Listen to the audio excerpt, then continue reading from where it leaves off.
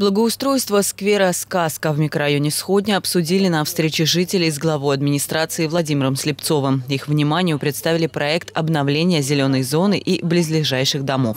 Запланирована посадка декоративного ограждения вдоль дороги. Вот. Соответственно, будут установлены здесь светильник, здесь светильник дополнительный. Э, установка будет беседки. Это лишь малая часть того, что планируется сделать. Однако жители выступили против беседки. Говорят, такая практика уже была и ничего хорошего не вышло. Зато поступило много других предложений. Не одну песочницу, а три, четыре. И завозить 500 детям. Дети получают кожную инфекцию. Там выгуливают собак. Сквере обещают заменить оборудование для детских и спортивных площадок, а также высадить новые деревья и кустарники. Помимо сквера, представители администрации осмотрели территорию ближайших домов и отметили пожелания жителей. Важно в Сходне сделать комплексное благоустройство.